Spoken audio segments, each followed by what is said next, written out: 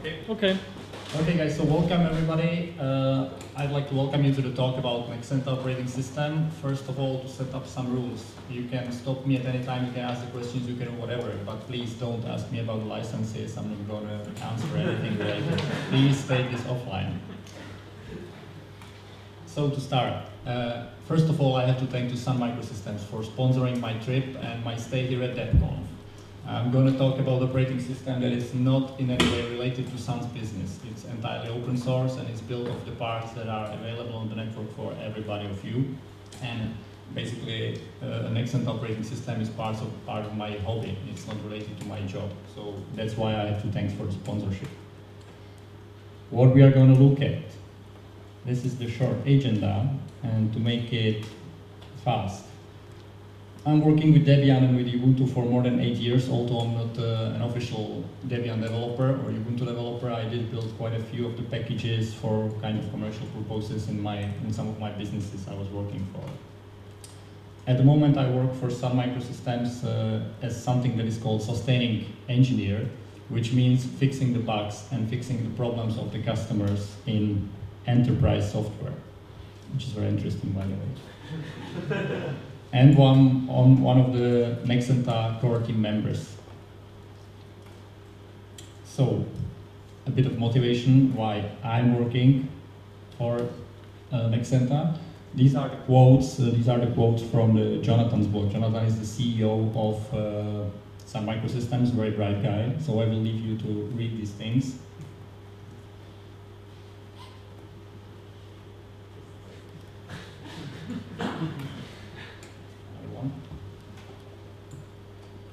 I hope none of those guys is here. I think you all know these. Well, one statement I clearly like. I want Solaris to be that easy.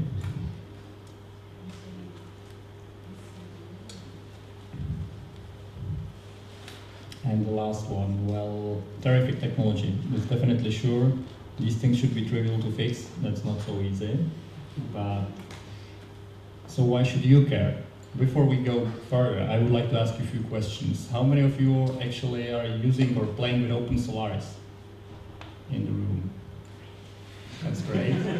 so the, the other questions, ZFS. How many people know ZFS or have played with ZFS or know the features? dtrace. This is just for me to get the image. Uh, dtrace is more interesting for people. Nexenta. Oh, that's absolutely great. Well, because I wanted to tell, tell you that it will be no rocket science and not many surprising things for you, but it looks like there might be some surprises. so, so the first thing, all of you, I suppose, know pbuilder, personal package builder, QA magic of the Debian. So I will show you how to speed up the package builder using ZFS technologies and zones technologies and basically open Solaris things. Uh, since I don't like typing the commands here at the shell, I have recorded the demo that I will just let you watch. Just by the way, these things are available on the website for the later training purposes and all these things. I just don't want to waste the resources. So what you are seeing here, I hope you can see it, is basically the next Nexenta booted, it's kind of a beta or alpha version, booted off the ZFS file system. Uh, to get more info about ZFS, just Google it and get some of the demos. So I'm going to create a ZFS file system that will hold zones. Zones are basically intelligent change rules or Xen virtual or para-virtual machines or whatever you would call it. That's why uh, Tom said in the morning that if you are interested in virtualization, you would like to see this talk. And now look how easy it is to create a new environment, which is fully virtualized. We're creating new zone that will be called pbuilder, that will that will be stored in zones pbuilder. You can just guess that in zones pbuilder there will be some some root file system. We will tell him that it should use this this uh, network interface. It should get this IP address in order to get to the network.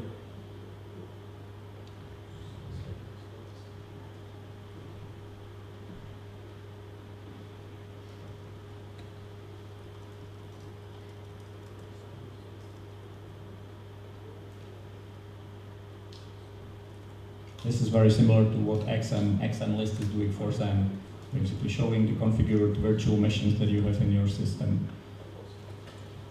Is it a E0 interface physical or some Um, I'm sorry, wait a minute, I will. Is the network interface virtual or real? Basically, the E AAE0 is a physical interface that, that is shared across multiple zones by creating the virtual interfaces. So uh, basically, the semantics in OpenSolaris are the same like in, in um, Linux. So you take uh, Ethernet 0, colon 0, colon 1, colon 2, colon 3, and you are creating virtual interfaces that are lying on the same physical cable. So I am here telling him that this zone will share this physical interface, and as a result of this, it will create a virtual interface. Basically, what you what you expect. So let it continue. So now, install the zone. Again, interesting thing is that there is some uh, ZFS thing going in behind. You should all know this. This is a plain the bootstrap that is basically creating the instance of Nexenta into some root file system. You can see some of the SunW packages. These are basically the Nexenta or Open, Open Solaris stuff. And the rest is just plain Debian or plain Ubuntu. And so you see that it took basically it took 10 minutes to bootstrap the zone. Yeah, it's using apt proxy to download the packages to speed it up. You see that the zone is installed.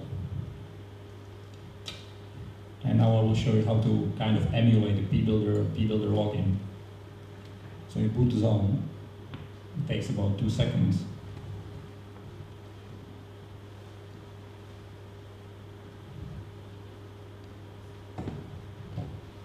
You log into the zone, and you've got another Open Solaris instance running. It's, uh, the zones are basically very, very, very similar to Xen, except for the fact that they are part of the mainline Open Solaris kernel. You don't need to patch anything, you don't need to update anything, recompile. It's uh, just working. So apt-get inside, inside the zone, it's fully isolated.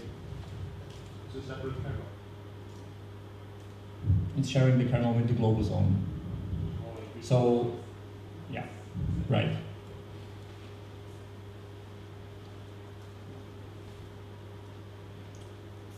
So what I'm doing here is basically to adding some of the Debian packages to the zone in order to create in order to create kind of pbuilder-like root file system containing the necessary tools. So you see the zone is running, I'm going, I'm getting out of the zone and I will just stop the zone in order to clone it for my building purposes.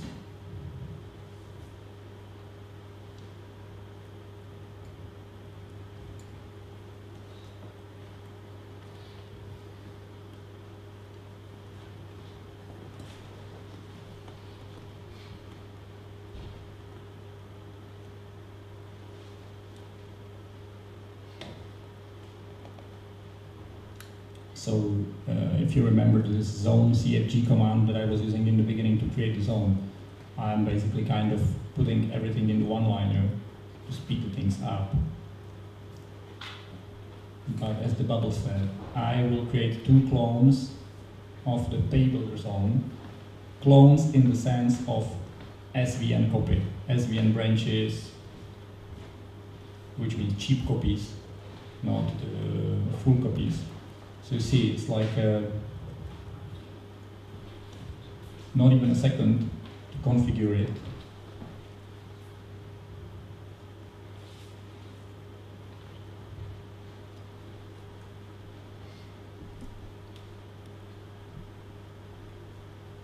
See that I do have two, two other zones. And now, watch this.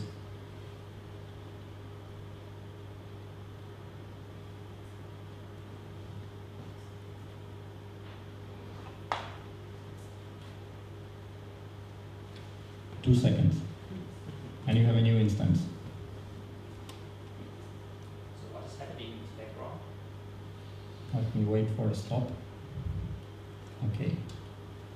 I will just pause it. What is happening in the background?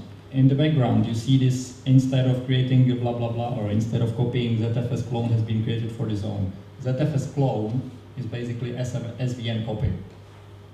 To well, like an LVM snapshot? Very probably, very probably. I'm not working with LVM since like two years back, so I don't know where, it's where it's going, but very probably because snapshotting the file system means taking the freeze point in the time so that you can use it in the life cycle, but back up it, uh, back it up. Sorry. Yeah, LVM2 has write in the snapshot, so you can snapshot the volume. So that would be the same. That would be the same. Exactly. So, well, where we are. So we have seen that we have cloned these virtual machines during one second. Yeah, that, that's the thing. So ZFS clone. Here you have the actual clones or actual snapshots that are marking the state of the file system in certain point in time. And what comes next? I'll probably boot it.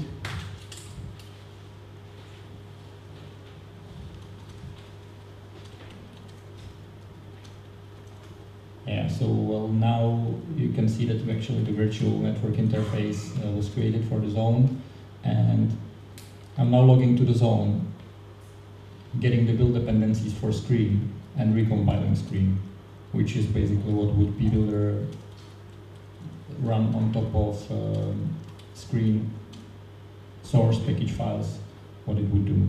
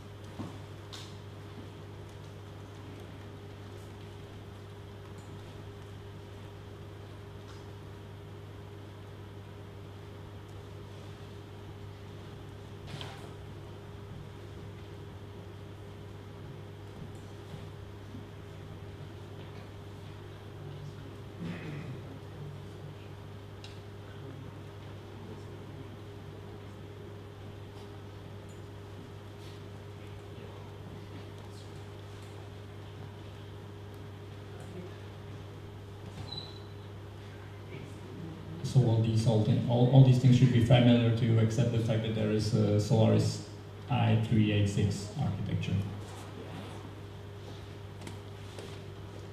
Yeah, if you get out of the zone, the root file system is in the in the zone's uh, subdirectory. Basically, you see the same files there. So this is the simulation of how we would build it. At this moment, I would probably go destroy the zone, which would which which is what would pbuilder pbuilder do out of the box if you rebuild the package. Uh, more interesting example. If you are rebuilding uh, very often package that has a lot of build dependencies. I have chosen gnome session because I just uh, was thinking that it, it got a lot of build dependencies. This is, this is what would the pbuilder do every time and I think it's doing it. And uh, you know probably better, as most of you are the DDs. You probably know better than me what, it takes to rebuild the huge packages like some X things and things like this. So Installing is not that bad, unpacking the for the people, the base storage is at an unpacking and all these things.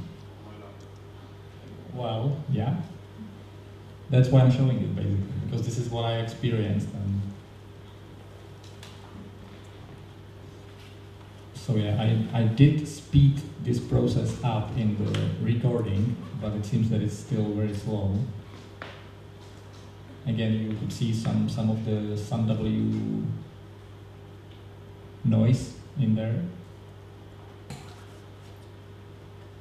Are you building against um, ULibc or is it something? is sunlibc. It's basically kernel plus libc plus ifconfig plus uh, tools like these is something that is called ON, and this is basically the thing that you download off the opensolaris.org that you compile, install and run and get uh, OpenSolaris. Self-contained, self-hosting without anything else. Just the bin sh, bin vi, and it contains more things than, than basically the Linux kernel, and it's, it's done a bit differently because you basically get a huge package that contains everything suitable to run the system, including the things like grep, I believe. So that it's like not the module in its tool separated from the kernel itself and everything managed differently. This is all just one big pile of things. Where we are, 90%.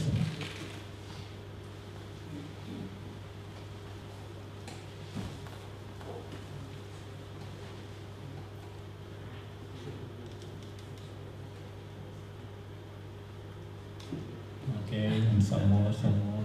Time for questions. Is there already the um, repository of the Nexenta packages?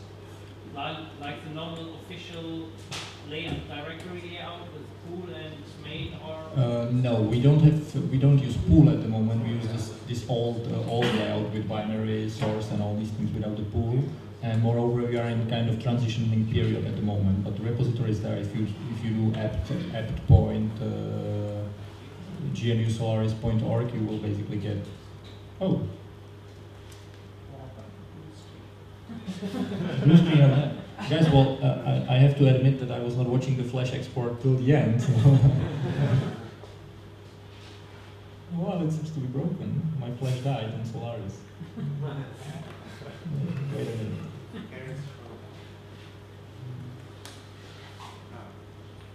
Aha.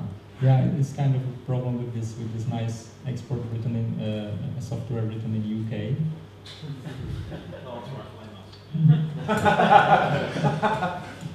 No, okay, I'm sorry for this. Uh, I, I was I was really not watching it, and it seems that the, either it's in an issue of the Flash player on the Solaris, or it's. Uh,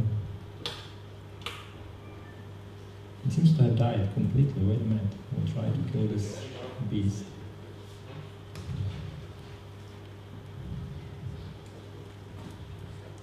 Oh, this looks like a real blue screen of that.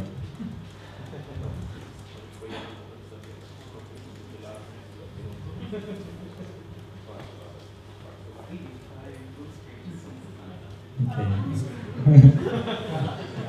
Time for a break. I have to restart the computer. Seems that the flash flash in this this version is killing the computer. Are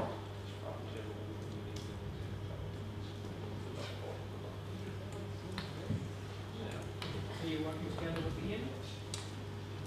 No. I told you that Nexenta is a hobby and it's a community thing entirely. It's no way related to some business. Not yet. So we don't know what happens. So basically, until until the machine starts and until I can log in again, because it's booting from this removable hard drive, I hope it's, it's okay. Uh, what the point of the demo was that after you finish the installation of the build build uh, dependencies for the gnome session into the change root into the zone, you hold the zone, and again you you use the ZFS snapshots to basically build the forks or build the clones of this environment in order to do the builds.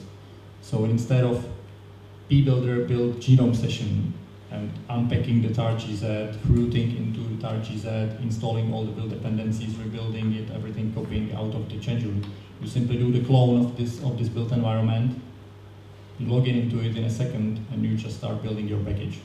Of course, assuming the, the build dependencies are not uh, are not changing. But for a personal work cycle, if you are doing it on your desktop, if you know what you are doing, it might save the time. So Can you commit the changes so that it becomes the new? um, Well, if you have file system A and commit to, to B and do modifications to B, can you make it so that A gets the modifications you give to B? I don't know if I understand it correctly. Can you can you repeat it? Uh, well, suppose you have a pbuilder CH root with uh, uh, almost nothing in it. right? Then you install uh, some packages after having cloned it. So you get uh, a new, uh, Yeah, you right. want the original one to, to get the changes as well. Is there anything like that? Or you just remove the first one? Yeah. So, well, the question was basically if you if you have one uh, uh, original root file system of the of the p builder, and if you clone it and then do the modifications in the clone, of course these modifications are only in the clone and there is no way to propagate them back. This this was the snapshot is for. So you either delete or the, the first one and just continue from the second one.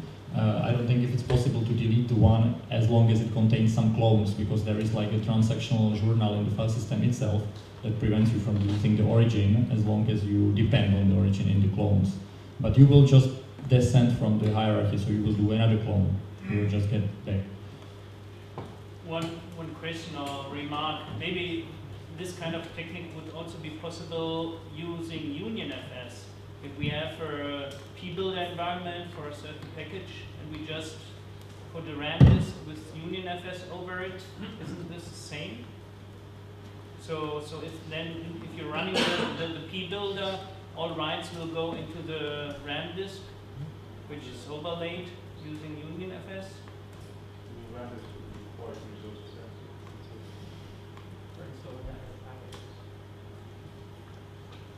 Maybe we can- we can use Tenderfest. Well, I'm using Tenderfest, lets you use the main uh, partition to other zone.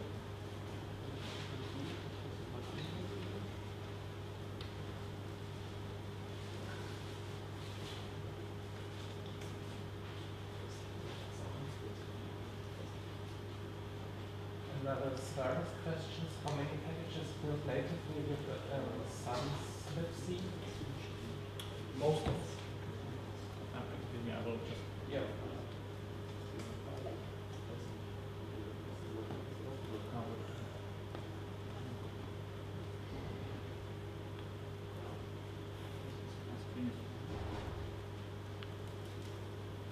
Yeah, most of the packages built with uh, libc. Actually, I, I do have a slide with some statistics afterwards, and uh, the situation is that basically most of the GNU stuff you can just compile.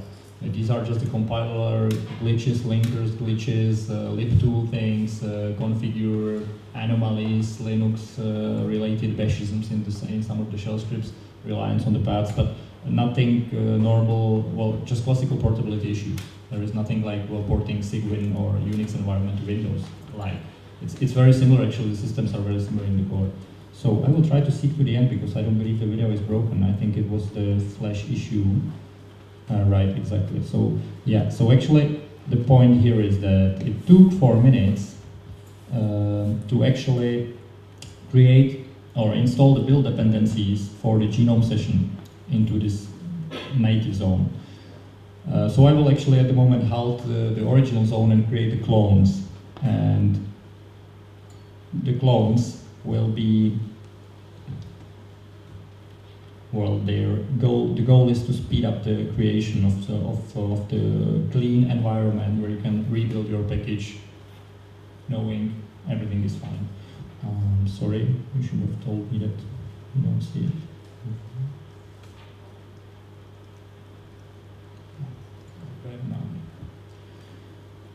So, cloning the zone and logging into it. Bang. ZFS clone, three seconds. So that's the point. That's the point basically. These snapshot features uh, of ZFS can be used very effectively to create virtual machines, basically clean environments, in order to speed up things dramatically. So let me open the presentation.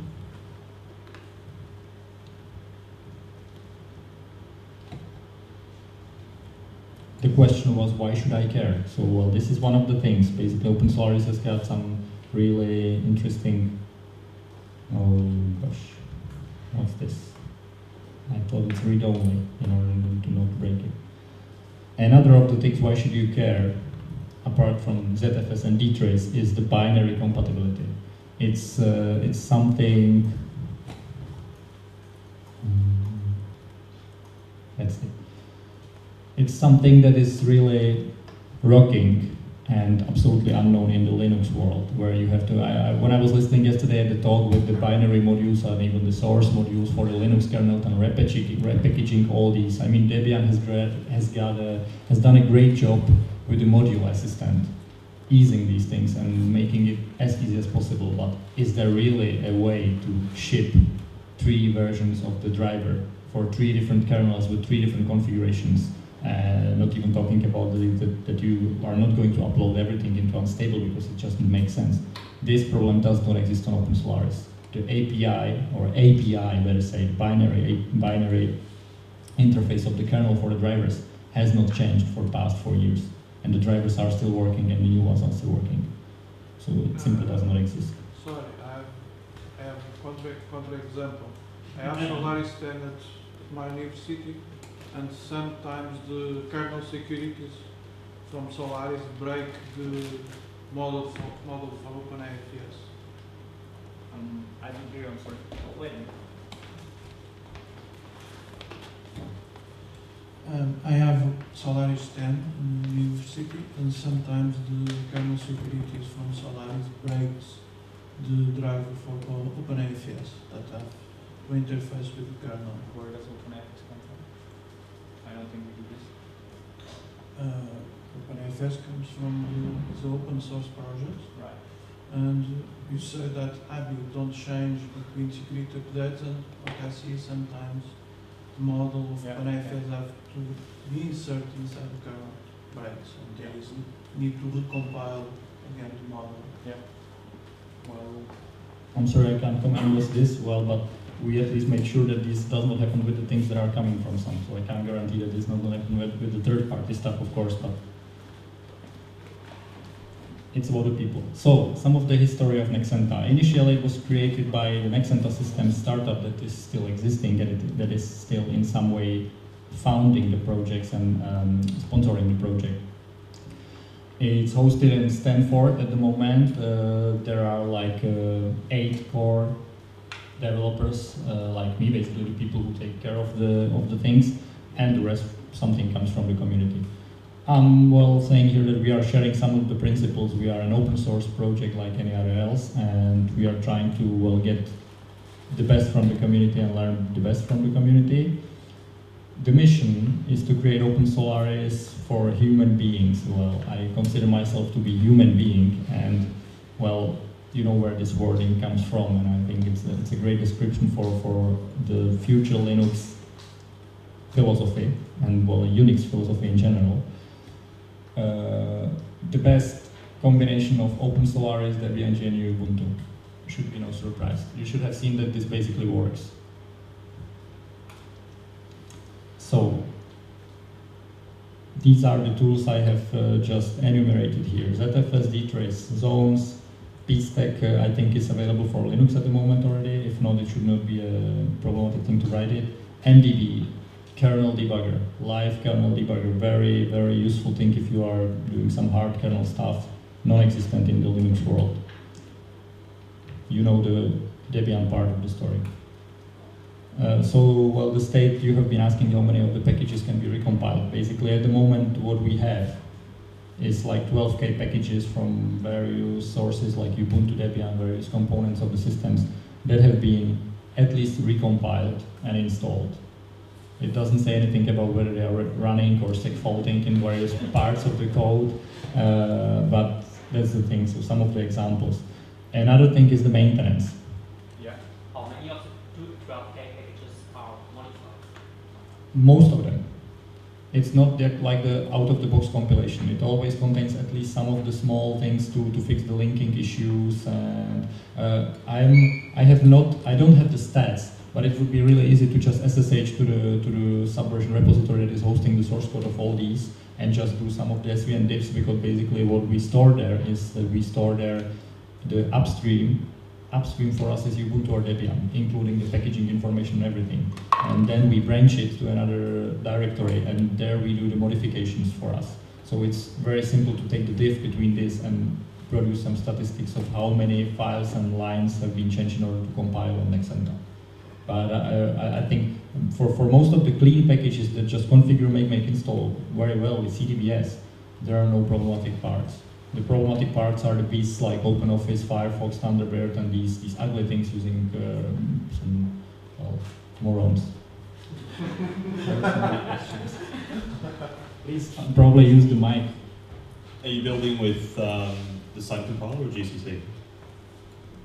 Good question. Most of the things we compile with GCC and some exceptional things like OpenOffice, we do compile with uh, Sun Studio because it simply does not compile on Solaris with GCC. Uh, it's just a matter of like fixing a few make files and things like this, but it doesn't work. It's a question of manpower. I think you had a question. Yeah, I'm interested in the type of build things. I mean, is it just that you have to update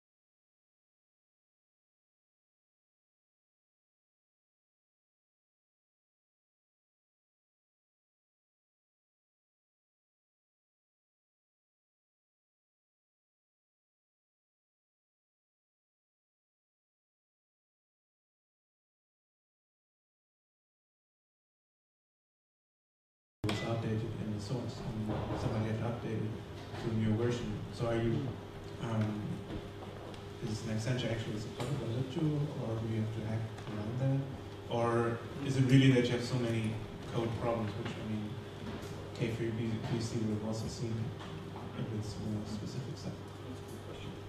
Yeah, that's a very good question, and you're hitting the most problematic part of, of, of this development. Uh, basically, the build failures are various types of things. For example, one of the things I was fixing for Thunderbird was that it was not linking properly. It was segfaulting, and by looking into the code, I've seen that it's segfaulting at the zero, zero, zero something. So it basically the linking step uh, did not understand the symbol versioning and something that is called filtered symbols on Solaris in, in Solaris libc, libpthread, and other things. And tool chain problem. Basically, the binutils, binutils uh, specifically LD, does not work uh, correctly on uh, Solaris under certain edge cases. And if you hit these edge cases, you get really interesting situations where, where the linking is succeeding, but it basically resolves the absolute addresses of the symbols in, in the wrong way. So things like these. Invocation of the command line. I mean, if you are invoking LD directly, you might need to alter the switches that you are passing to LD because uh, on Linux, most of the various different shared linking combinations produce the same result, but it's not true for other platforms. So you have to fine tune these things, uh, kind of fix, fix the upstream linking process. What are the questions you have for, for this part? In a minute? So I was wondering, uh, in this tool chain, uh, how much are, uh, what are your actual intentions? Do you ever plan to port it to glibc or, I mean, because you obviously included the other LD, you know, so where is this going? Uh, what are your directions? Right, good question. Uh, basically, it would be probably a community consensus, so I don't have the direct answer. I personally would like, or what, okay, I will say what, what Sun is doing. Sun is shipping GCC and using SunLinker, because SunLinker has got better features when it comes to uh, symbol versioning and backward compatibility things. So they basically ignore the binutils. This would be a great thing, but we have to fix all those, all those uh, 20k packages to link properly and fix these linking errors, which uh, I don't know if, if it can be solved by libtool, but which is a really huge amount of the work. So the logical thing would be to use just GCC and GNU binutils and just forget the Sun stuff completely because it would better fit the GNU world of uh, side of things. But again, because there are these bugs, someone has to fix the bugs. And at the moment, there are not enough uh, Solaris users that have the GNU knowledge in order to fix these bugs. So it will probably come with time because these are really the edge cases and binutils and GNU and FSF folks are really hard uh, crowd to, they're worse than Debian people. And I don't mean it in a bad way, but they really, for them, this is a religion kind of uh, thing. Yeah. and well, the third option would be to just use the Sun compiler and Sun linking, which uh, according to some Sun engineers would produce the best, best results.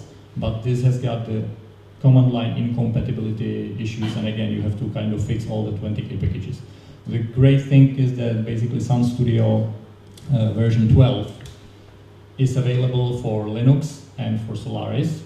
It's freely downloadable, but it's not freely redistributable still. And it has got some. That will get fixed. But they will get fixed. It's just a matter of time and convincing the right people.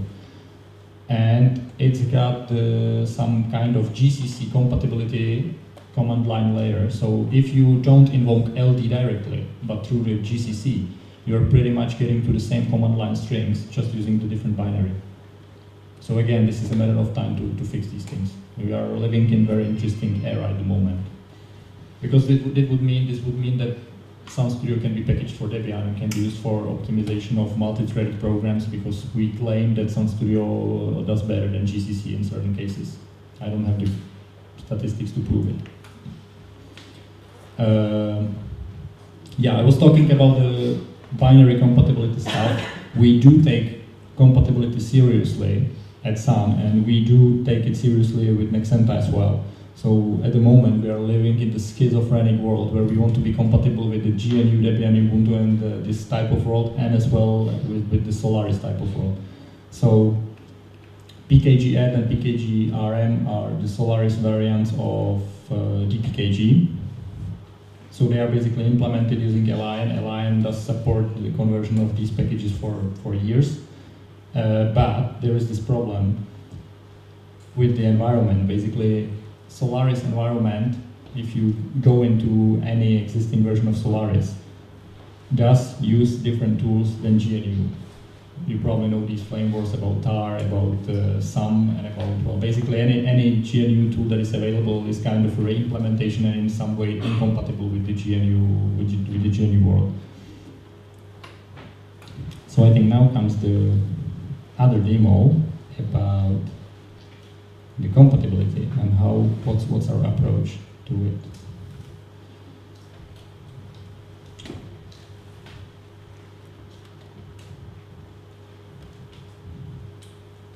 So I really hope we will survive. if not, then well, as, as as long as there is no other presentation after me, that should be fine. So, favorite open Solaris tools, favorite um, Debian tools.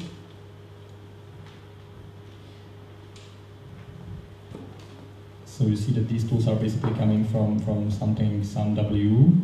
If you go to any recent open Solaris, uh, you will basically find these packages there.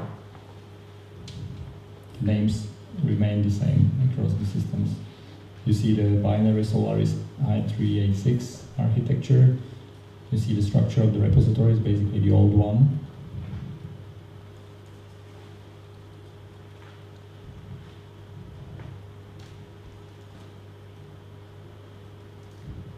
This SunW packaging stuff is what you basically get if you download OpenSolaris and recompile it yourself.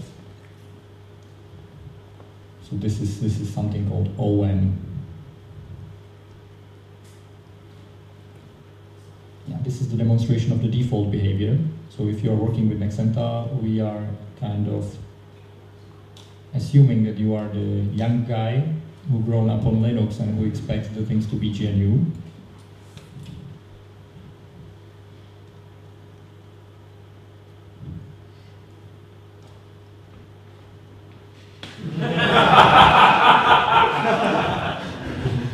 This is not fun. but it's compatible. yeah. So by switching this variable, you're basically you're basically switching the behavior of the system. Is it running in a completely different binary now, or? You will see. Don't be too fast. I have a- I have a bonus question, but I don't have a T-shirt with me. I haven't got any Sun marketing materials with me.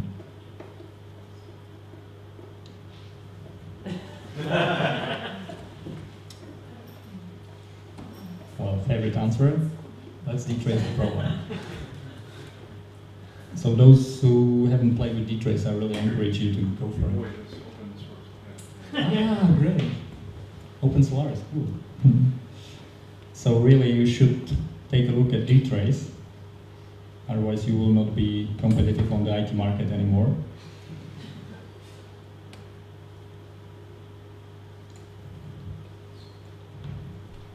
I think it should be all self-explanatory.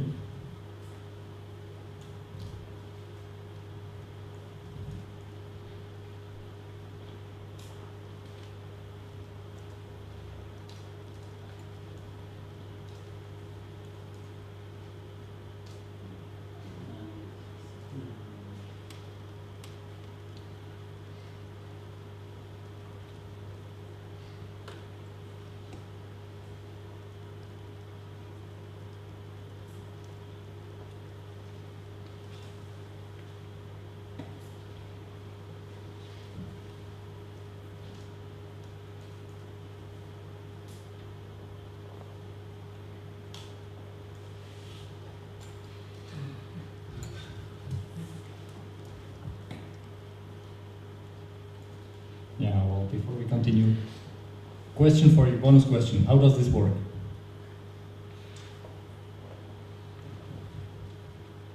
Just try to guess. Dynamic link or trigger? Huh? Dynamic link or trigger? No? Simpler? No, simpler. Well, simpler. I don't know. Search bar, No? wrapper, access color. Right. Wearing the t-shirt. Basically, there is an exec, exec VE syscall that is the main point of everything that does exec and fork, or fork and exec. So it, it's, it's, there is some, some wrapper code that, that detects this, variable and dispatches the invocation. Uh, I, would, I would have another question at the moment. What's the drawback of it? It's evil. It's Can you elaborate more? yeah, no, fine, fair enough.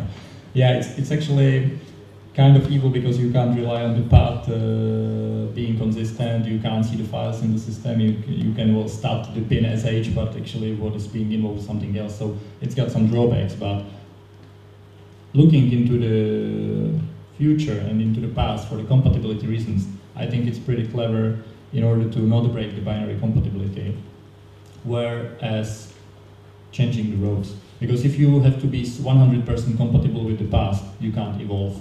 This is what Open Solaris is facing at the moment, and all these flame wars about user GNU, user FSSW. It's really, it's really, it's not, it's not fun because we take the binary compatibility seriously.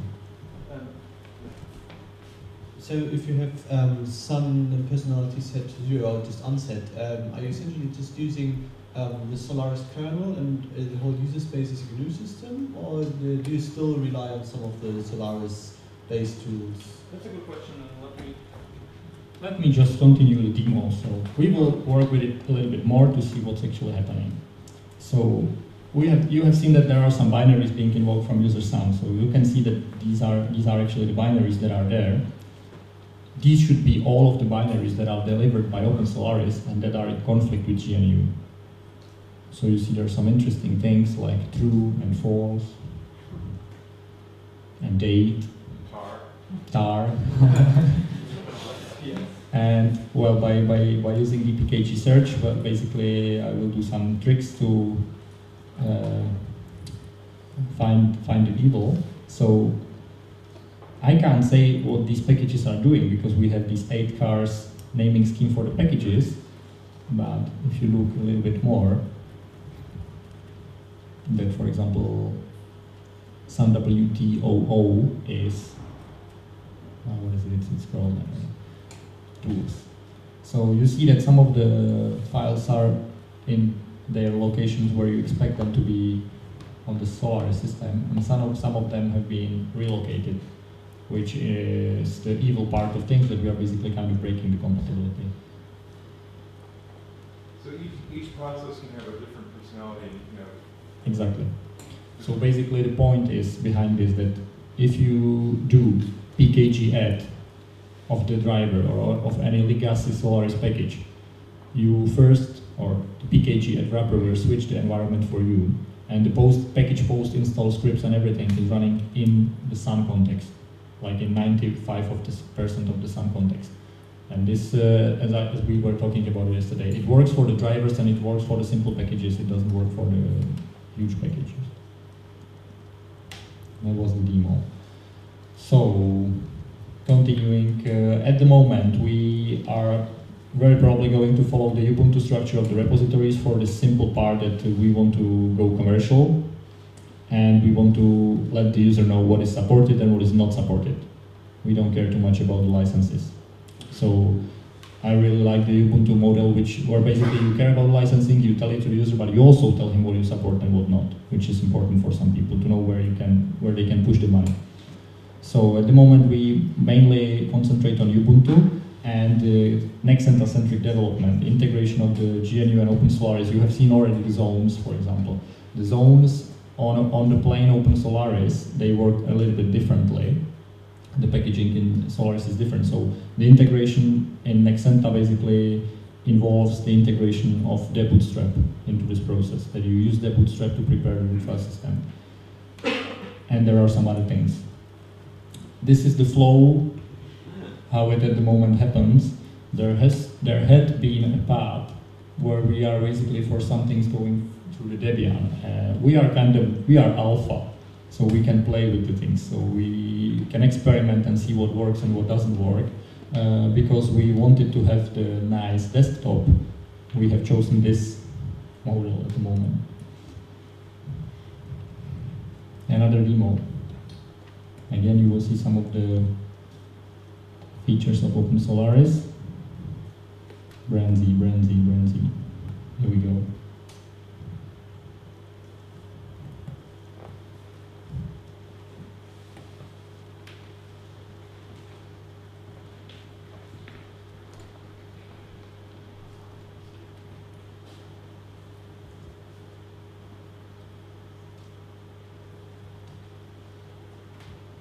So you should recognize these commands from the first demo.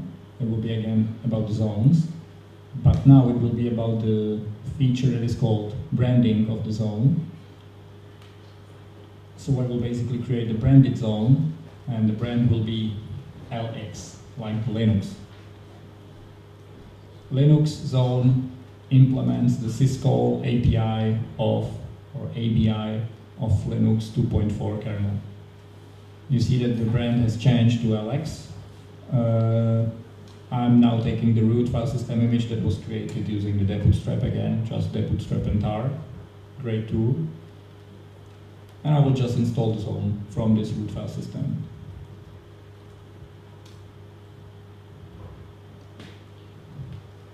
You see the ZFS pattern there again.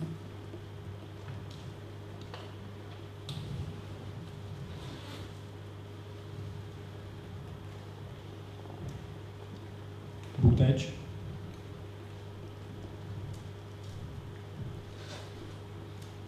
And get into it. This should be familiar for you.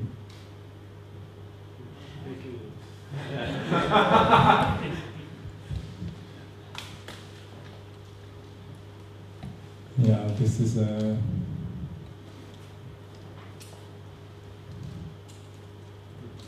minor issue.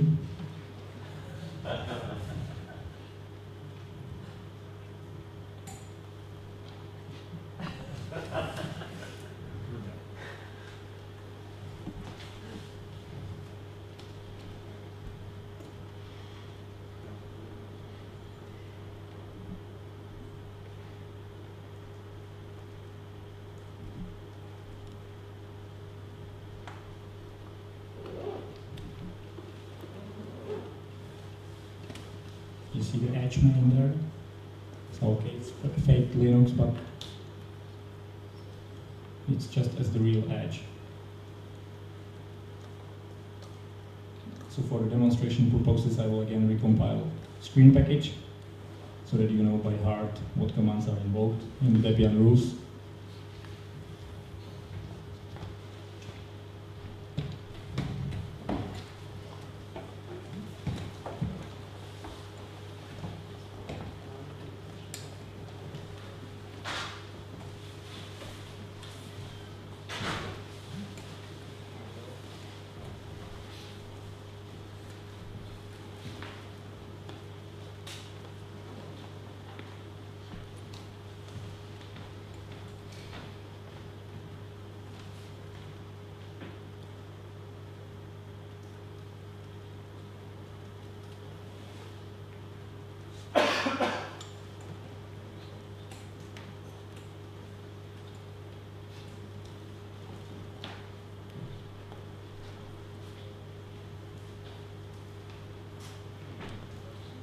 Convince you that there is no trick in it, I was able to install everything from Sarge uh, everything from, from the Ubuntu into the zone with, with the plain debootstrap at the moment. So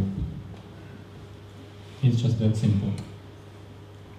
So you see that the packages are again resulting in the in the main file system. And now comes the cloning. You have already seen the cloning using using ZFS, snap, ZFS snapshots, and I will basically do the same thing, but for Linux branded zones.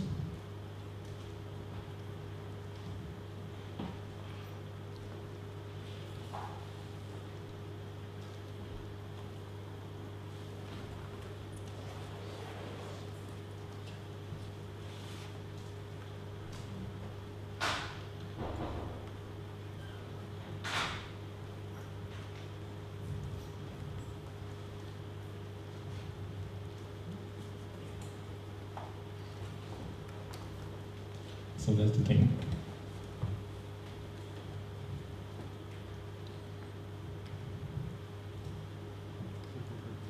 And now the more interesting thing.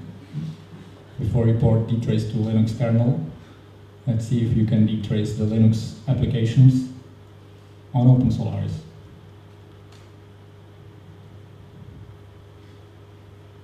I will be basically tracing the OpenSys call to see what files are being opened if I'm doing something in the zone.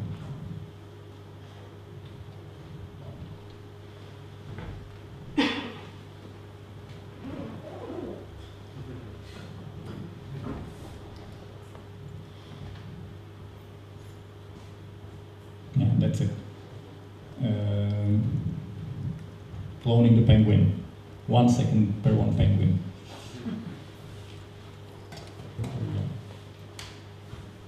So, what are we working on at the moment? We are trying to get out the version 1.0, which will be called Server Storage Edition, uh, basically because of the fact that it integrates nicely APT, zones, and ZFS, which is interesting for the server things. We have uh, kind of agreed on the Dapper Drake as being the base, uh, mainly because it's got guaranteed support for some more four years, which is a which is not a moving target for us, and which has got a great selection of packages in main, basically. What we had decided to do is to drop the graphical support, which means that we will not officially support it. It will probably, it's in the repository, it's working, but there are some bugs, and the maintenance is just complicated. That's why we were talking about the work of Ubuntu is doing with, with Debian, and we, will, we, we have to join this somehow. And some of the features that uh, we are waiting for. ZFS root is already integrated partially. Uh, OpenSolaris is able to boot from the ZFS file system, but it has to follow some of the rules from the root file system. It, it can be mirrored, but it might not be the RAID 5, RAID 3 for various reasons we can talk about later on. We want to have the SMF uh, manifests called for all the daemons and services. Basically, SMF is the uh, some re-implementation of init scripts, as, as if we don't have enough uh, re-implementation of the init scripts. Yeah, we don't need to wait for the GUI to stabilize, and we don't need to wait for all the important desktop-related things to be put back into the open source kernel, because these things are progressing very well, and uh, but still there is a lot of uh, things to go for. I mean, over the past year, hardware abstraction layer, some 3D things were done. Uh, I don't even remember the names of these components that are necessary for the desktop to work out, to mount the volumes and all these things. So it's, it's progressing very well on this front, but it needs some more months to, to finish, so we're not going to wait for it with Nexenta. We have been already talking about the obstacles, the compilation stuff, and the schizophrenia to not be like sure and clear what to use and what to not use. Plenty of choice, too much of choice. Yeah. And if you want to get involved, you can go to this website. It's still alive, but at the moment we are doing some massive changes, so you can expect having the nexenta.org website going live. Uh, there are some things that we kind of don't want to use the GNU and Solaris anymore because these are both trademarks, as we figure out. And this is kind of, well, sensitive. So from the brand management of the perspective, we will go with the Nexenta only. Time for questions. Can you talk about grub? Can you talk about grub support for ZFS and also different kinds of partitions like VTOC partitions? Uh, I don't know much about this to talk about it. What I know is that basically Sun has done some modifications to the grub 1.x versions in order to be able to boot OpenSolaris on Intel platform. Uh, as far as I know, these modifications haven't made it upstream, probably because grub 1 point something is unmaintained at the moment, and grub 2 point something is not released yet. So these modifications are lying in the in the ON source code repository, and they are completely irrelevant. So if you are playing with an Nexenta uh, on your real hard drive, be careful not to override the grub for Solaris with the grub from Ubuntu, for example, because the Solaris is called VTOC partitions or slices. They are basically different beasts and they need special support in grub in order to, to find the hard drive and to find the kernel in there. So if you use the grub from Nexenta, it will boot Oriole Linuxes and everything else. But if you use it vice versa, it will not do. Uh, that's probably all I can say about it. What about Nexenta on SPARC hardware? Good questions. I'm always asked this question. It's a matter of people and time. Nothing more. I don't see any other obstacles.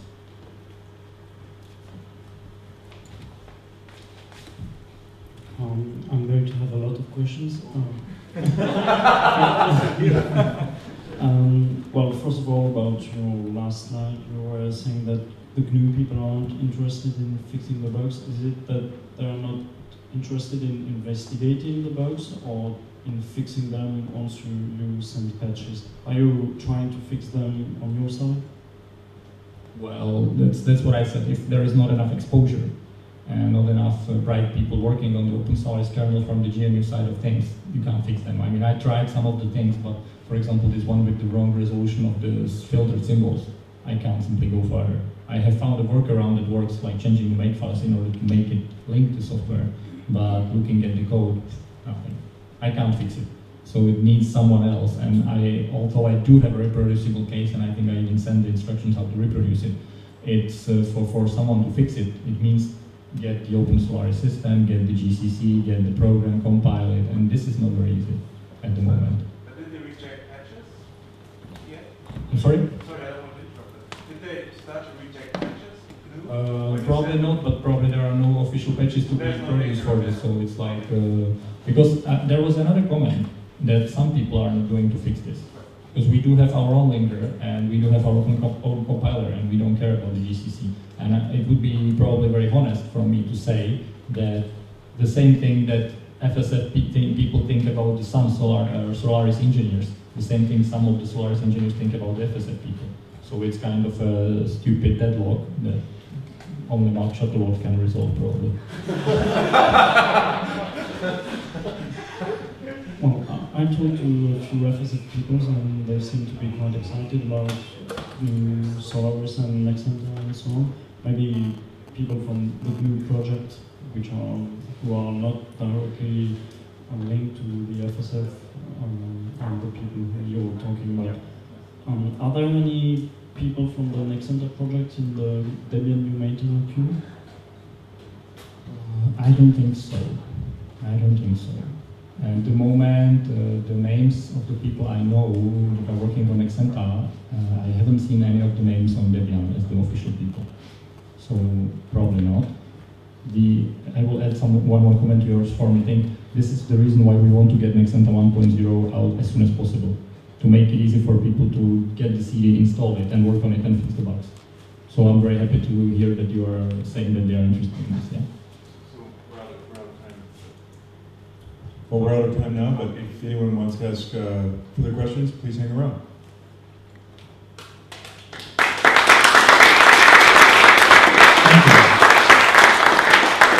So I think I will be around, so if we can, we can talk more. I do have it running here if you want to play with it. It's on my removable hard drive, so you can break it.